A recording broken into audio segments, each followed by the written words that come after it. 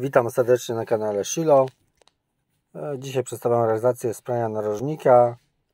Narożnik y, był, tutaj jest plama właśnie taka po wymiocinach. E, Było to zebrane, zganie zaprane, tak. E, Także mamy tutaj dosyć bardzo dużą plamę po wymiocinach. No i będzie właśnie przedstawiona realizacja sprania. Także pranie metodą ekstrakcyjną, odkurzanie wpierw narożnika, potem nanoszenie e, środka do rozpuszczania, do rozpuszczania brudu, wyszorowanie ręczne całego narożnika wraz z poduszkami, a potem odciąganie, e, potem pranie ekstrakcyjne e, odkurzaczem, tak? Zapraszam serdecznie do obejrzenia sobie filmiku. Będzie efekt przed i po. Pozdrawiam serdecznie.